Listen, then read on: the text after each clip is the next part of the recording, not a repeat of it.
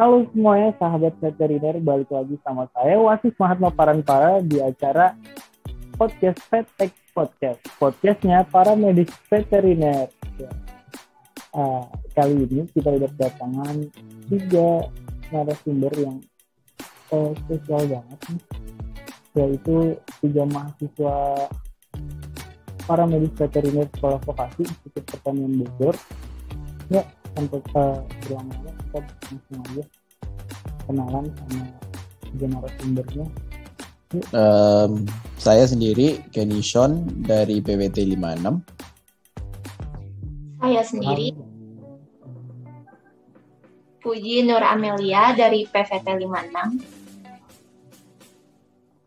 Dan saya saya Sabila Sandia Mangatu dari PVT. Oke, okay. uh, pada kesempatan kali kita bakal membahas tentang kebijakan yang kritikal uh, dari seorang para medis veteriner. Sebelum kita ngebahas lebih jauh, uh, apa sih para medis veteriner itu? Mungkin dari teman-teman sekalian juga belum banyak yang tahu. Jadi kita sekalian tanya langsung ke ahli. Uh, kalau menurut saya, para medis veteriner uh, itu program diploma yang mempelajari tentang manajemen kesehatan yang berhubungan dengan dunia hewan atau nama lainnya kesehatan hewan. Jadi uh, kita tuh kayak sebagai uh, teh gitu, yaitu uh, vet asisten, vet, vet asisten dokter hewan. Hmm. Kalau di Indonesia mungkin perawatnya ya. Iya. Hmm.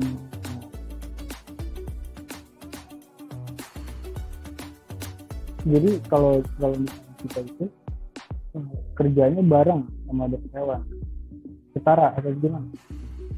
Iya, jadi kita tuh harus di bawah naungan dokter hewan ya. Hmm. Dan uh, sebagai paramedik veteriner pastinya memiliki kebijakan.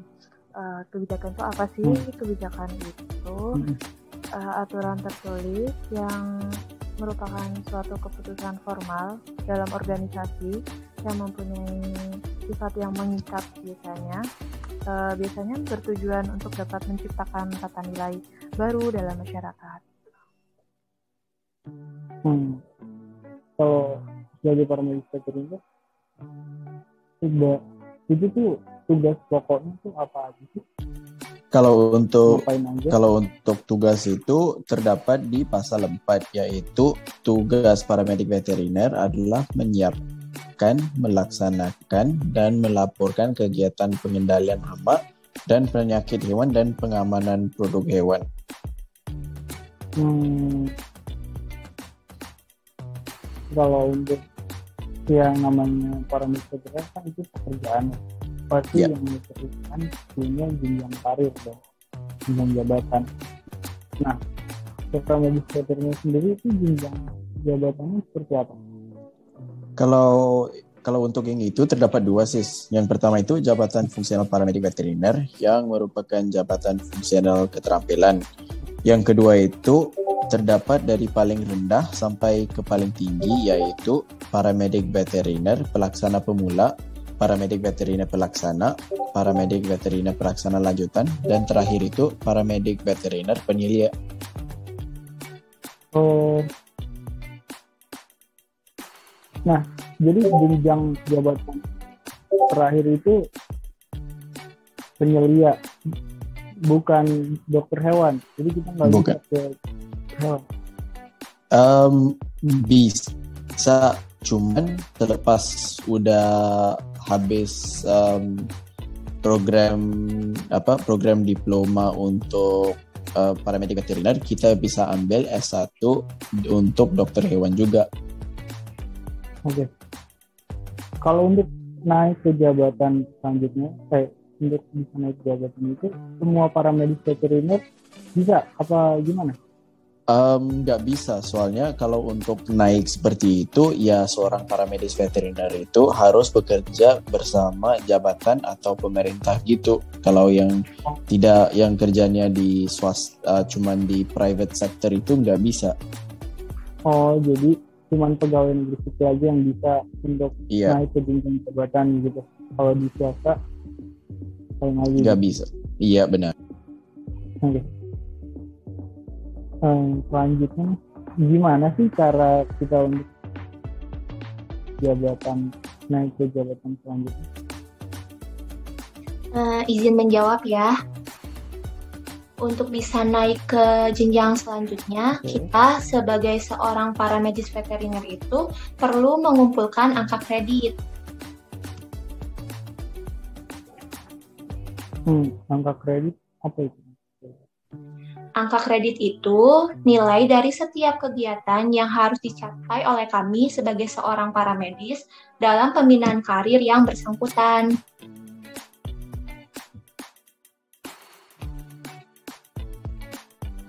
Oke. Gimana caranya kita bisa dapetin angka kredit tersebut? Eh, Untuk angka kredit sendiri itu bisa didapatkan sesuai dengan jenjang jabatan. Jadi untuk jenjang Hmm. jabatan seorang paramedis itu diatur dalam pasal 8. Cek sendiri. Oh, gitu. Jadi simpel ya, kalau misalnya kita mau naik jabatan, kita tuh harus ngumpulin poin-poin gitu ya. Kayak di game kita harus ngumpulin poin-poin supaya bisa naik level gitu. Oh iya, iya. Ya, betul.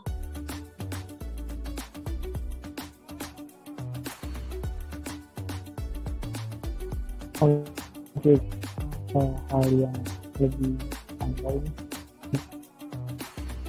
Dari dari kalian kan sudah merupakan mahasiswa tingkat akhir ya tahun ini sudah semester lima. Eh, kalian tuh udah punya rencana belum kayak tujuan setelah lulus itu mau ke mana? Em, kalau Sean sendiri itu mau ke arah hewan liar atau satli gitu. Jadi dalam teknik konservasi atau teknik medis itu, tapi pokoknya itu mau bersama satli lah hewan liar gitu. Eh, kenapa tuh yang memilih berbelit di bidang Eh, soalnya itu kalau dari hewan liar sendiri itu emang spesiesnya itu di Indonesia banyak sama lebih seru sih kerjanya di lapang daripada cuman di klinik. Soalnya kalau di klinik itu cuman eh, anjing, kucing, ya hewan eksotis juga ada, cuman jarang yang ke klinik sih. Oh ya, eh, FYI ini buat sahabat veteriner pendengar semua. Eh, Bang Xiaon ini wa- merupakan warga negara Malaysia. Tadi eh, Bang Xiaon sempat menyinggung tentang eh, Indonesia. Jadi Bang Xiaon ini setelah lulus mau kerjanya mau di Indonesia. Atau sebisa mau- mungkin mau kerja di Indonesia sih. Soalnya spesiesnya cukup banyak di sini, apalagi exposure-nya buat belajar sebagai seorang vetek itu lebih. Hmm, kita kita sebagai orang Indonesia harus berbangga karena Iya, eh, spesies yang kita miliki itu lebih beragam ya bang ya. Lebih banyak kita tuh kaya secara sumber daya. Jadi orang-orang juga. Masuk di negara nah buat kita ma- masyarakat Indonesia salah kita juga harus mengembangkan dan mempelajari lebih lanjut. dan memanfaatkan Oke. Kalau yang lain gimana? Kalau saya, rencananya setelah lulus ingin melamar pekerjaan di Badan Karantina Pertanian. Oh, bidang ya. Ya,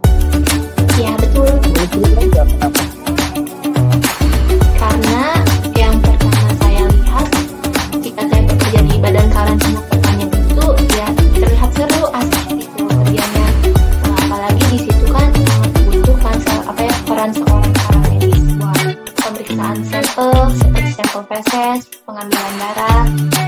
Terus kerjanya yang kedua kayak mana-mana. Gak di satu tempat itu aja jadi setiap tahun tuh kita pindah-pindah. Tempat Nah, asik aja gitu seru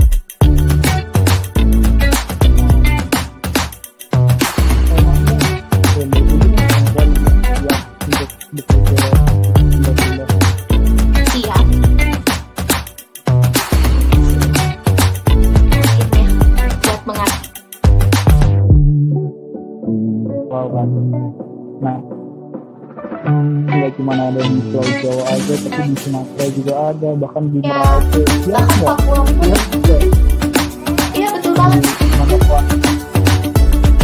Sampai ujung Papua pun bisa. Hmm, intinya harus ditempatkan di tempat kecil. Yang kalau Mbak Fadila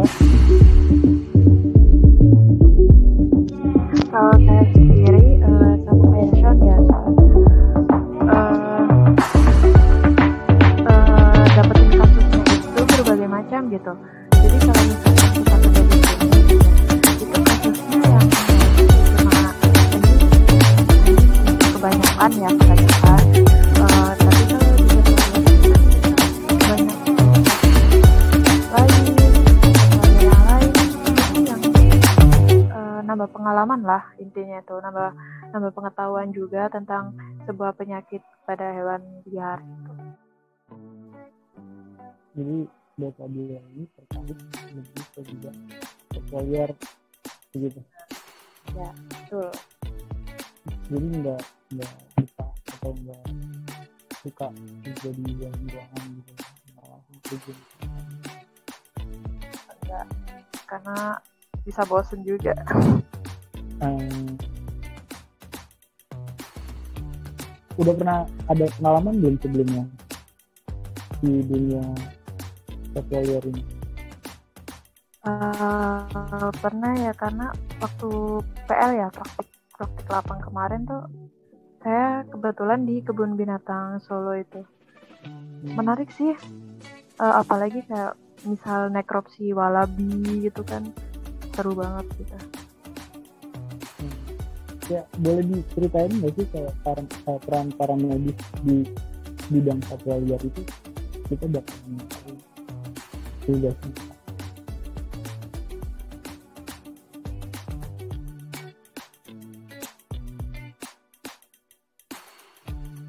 Em, kalau izin jawab ya, kalau peran para medis di satwa liar itu ya jika do- eh, dokternya itu ke lapang ke, em, ke lapang itu dan harus melihat habitatnya itu bersama em, monitor situasi buat hewannya tersebut ya para medis itu harus menolong sih waktu kayak pengecekan gitu ya para medisnya itu harus bantu gitu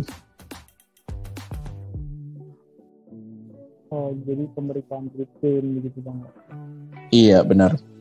Atau bantu handling restrain mungkin bang ya Yes, uh, kebanyakan dengan handling dan restraint sih. Soalnya para medis kalau ikut dari pengetahuan saya itu lebih uh, membelajar dengan lebih detail di um, di apa itu di uh, sekolah vokasi tentang uh, handling dan restraint. Oke. Eh, terakhir nih, eh, ada nggak sih pesan kalian untuk adik-adik yang sedang berkuliah di fakultas veteriner atau bahkan ingin berkecimpung di dunia farmasi veteriner gitu untuk tips memilih bidang pekerjaan, terus berkuliah di farmasi veteriner gitu, paramedic. Um, izin jawab. Kalau untuk adik-adik itu ya pertama itu mentalnya itu harus kuat dan harus tahu kayak um, arah pas udah beres kuliah itu mau ke mana. Jadi kalau mau ke satwa liar itu benar-benar passionate gitu pasal satwa liar jangan cuman ya um, Biar mau aja. iya benar Hmm. Jadi mental ya, persiapin mental. iya persiapan mental itu cukup harus harus cukup sih tenang di, di veteriner Gitu. Jadi mental benar-benar harus kuat karena nggak bisa apa kuliah.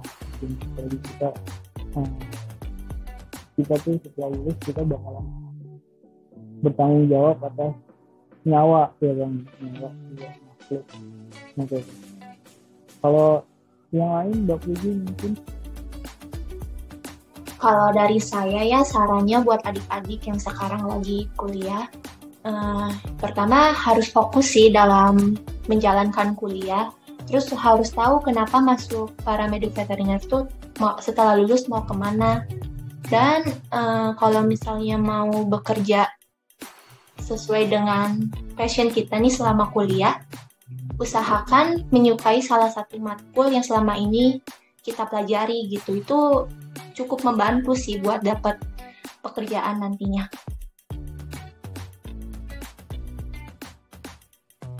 kalau Mbak Puji sendiri paling suka matkul apa nih? Selama kuliah. Karena lulus kepikiran mau mendaftar kerja di karantina, jadi ya Hmm. harus suka sama matkul karantina. Harus mendalami, mendalami gitu. Biar nanti di tempat kerja seenggaknya kita udah punya be- apa ya bekal Hmm, basic. ya. Kalau menurut Mbak Sabila, Eh, menurut saya sama sih sama eh, kayak mereka Eh, tapi yang lebih penting tuh kenali dulu kemampuan dan bakat kamu itu apa nah kenali Hmm. lagi per- dalam pribadimu tuh gimana? Terus Iya itu benar eh, kalau misalkan kita masuk ke paramedik veteriner itu kita harus tahu apa tujuan kita sebenarnya di mana kita setelah kuliah di situ tuh apa eh, tujuannya gitu. Terus Hmm, daftarin aja semua pekerjaan yang eh, sesuai di bidang kamu jadi misalkan kamu minat di bidang karantina daftarin aja gitu ya, ya. Jadi yang paling pertama sih kita harus tahu dulu kita kelebihan dan kekurangannya apa gitu ya. Ya, betul sekali. Hmm, oke, oke. Itu tadi bahasan kita sangat menarik kita. Wih, eh, buat sahabat-sahabat veteriner, para pendengar eh, sekalian, kita udah sampai di penghujung. Ya. Terima kasih untuk para ketiga narasumber yang. Jangan eh, sampai sini aja podcast kita kali ini. Terima kasih untuk terima kasih telah mendengarkan. Jangan lupa untuk menantikan konten-konten selanjutnya yang tidak kalah menarik. Eh, saya Wasis Mata Parantara dari satu podcast pamit. See you. Yuk. Yuk.